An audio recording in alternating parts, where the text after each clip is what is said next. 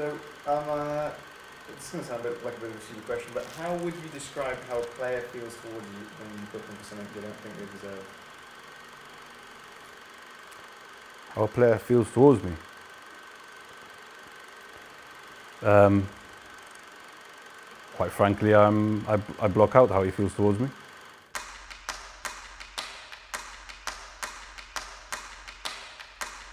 You've got to have the right character, absolutely. Plenty of pressure, determination, a lot of responsibility as well. But at the same time, I say if you don't try, then you won't know. You do require a certain kind of character, but anyone can be developed into having that character. At the same time, your fitness level needs to be high to keep up with the game. Once you're closer to them, you have the better view. Presence is a massive thing when it comes to being on the field. If you haven't got presence, then the players can start mocking you and you know you can start to lose control of the game and everything else. You need to try and, and be calm because at the end of the day, the players look towards the referee. And if you seem nervous or overexcited, then that can be transmitted into the, the players.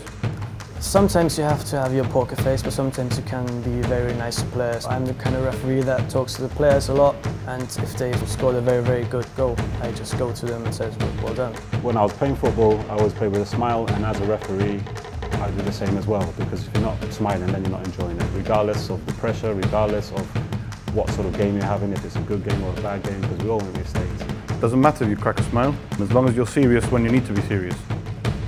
The managers always shout, the people on the the fans, they notice it getting louder as well. You've got to have the confidence as a referee to, to block everything out, even when it's not just the fans, but also the players who are giving you constant back chat as well.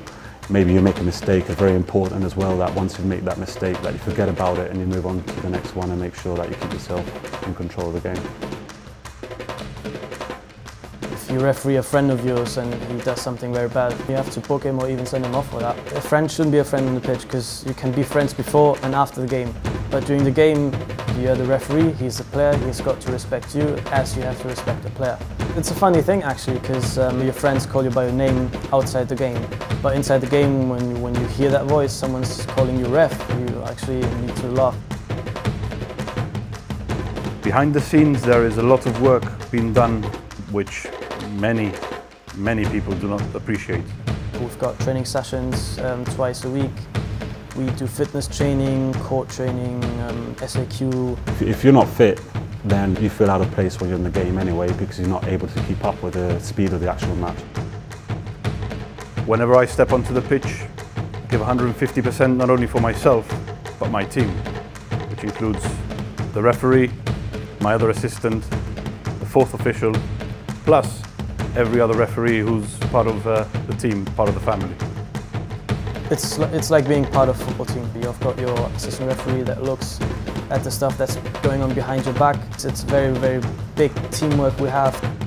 If you can't rely on each other and if you don't back them up, even if one of you is wrong, then it's all going to fall apart. So teamwork is, is absolutely uh, is an absolute must. It's, it's like anything else. If you don't work as a team, then you're always going to lose.